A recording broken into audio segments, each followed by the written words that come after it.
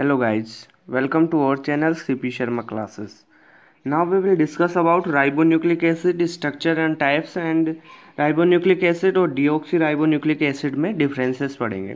पहले देखते हैं राइबो न्यूक्लिक एसिड के बारे में। राइबो न्यूक्लिक एसिड की डिस्ट्रीब्यूशन देखते हैं पहले कि यह कहाँ कहाँ पाया जाता है। राइबो न्यूक्लिक एसिड मुख्यतः यह कोशिका द्रव्य न्यूक्लियोलस में प्रजेंट होता है। कोशिका द्रव्य में यह टीआरएनए और एमआरएनए के रूप में तथा आर आरएनए के रूप में यह राइबोसोम्स में भी पाया जाता है।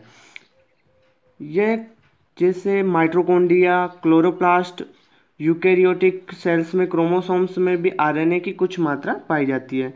बहुत से जो प्लांट वायरसेस हैं या एनिमल वायरसेस हैं, में भी आरएनए पाया जाता है। जेनेटिक मटेरियल के रूप में भी कुछ में पाया जाता है या अब हम देखते हैं इसके स्ट्रक्चर के बारे में।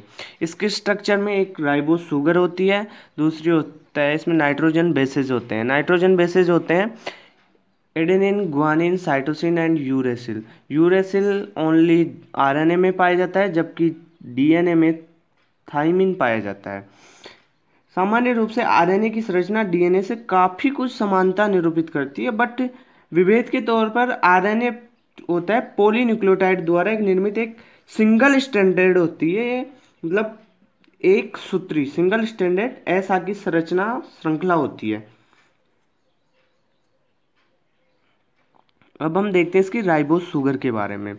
जो आरएनए में शुगर पाई जाती है, उसे राइबोस शुगर कहते हैं, जबकि डीएनए में पाई जाने वाली शुगर को डिओक्सी राइबोस शुगर कहते हैं।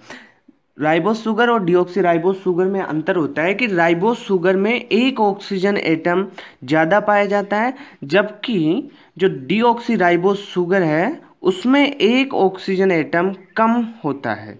राइबोस शुगर में कार्बन नंबर टू पर एक ऑक्सीजन एटम अधिक होता है।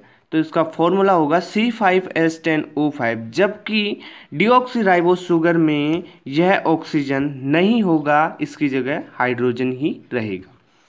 अब हम देखते हैं कि आरएनए में जो एडेनिन यूरेसिल और ग्वानिन साइटोसिन का जो अनुपात है, वह इक्वल नहीं होता है, यानी यह चारगोप के नियम का पालन नहीं करता है राइट आरएनए अणु में पाए जाने वाले न्यूक्लियोटाइड के बीच अंतरा आणविक युग्मन इंट्रामोलिकुलर पेयरिंग प्रेजेंट होती है और यही है कि इसकी सिंगल स्टैंडर्ड संरचना को स्टेबिलिटी प्रदान करता है। जो आरएनए की सिंगल स्टैंडर्ड जो स्ट्रक्चर है, उसको इंट्रामोलिकुलर पेयरिंग होती है। इस कारण उसको स्टेबिलिटी मिल जाती है और सिंगल स्टैंडर्ड स्ट्रक्चर आरएनए की स्टेबल रह पाती है।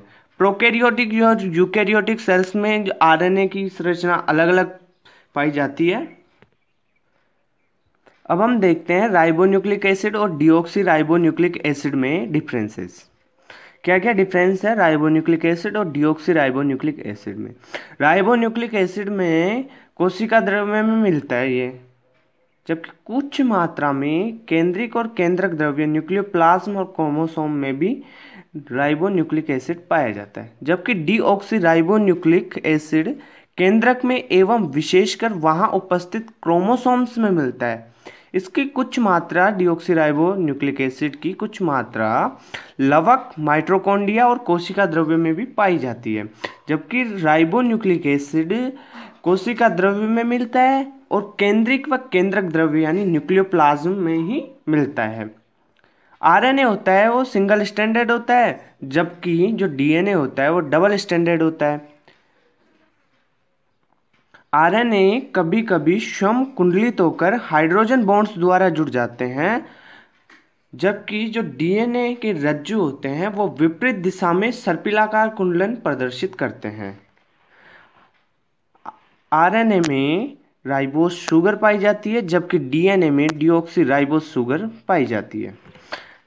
आरएनए में adenine, guanine, cytosine and uracil पाए जाते हैं, जबकि डीऑक्सीराइबोज शुगर, सर, एसिड में adenine guanine cytosine and thymine base nitrogen bases पाए जाते हैं।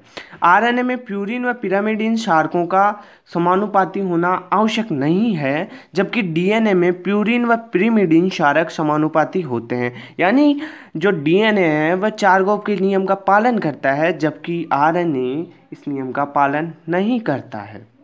राइट? आरएनए अणु प्रमुखतया प्रोटीन संश्लेषण में सक्रिय है, लेकिन कुछ पादप व जंतु वायरसों में ये आनुवांशिक पदार्थ यानी जेनेटिक मटेरियल के रूप में कुछ ही वायरसों में यह पाया जाता है।